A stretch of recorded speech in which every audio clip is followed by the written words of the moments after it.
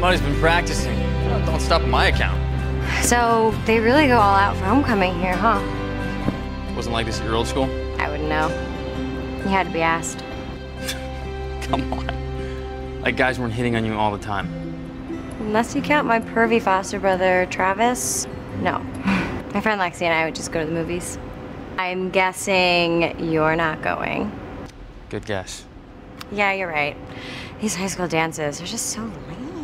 You kind of look like you were having a real good time a second ago. That? Yeah, no, I was just, I was just, I don't really know what that was. yeah.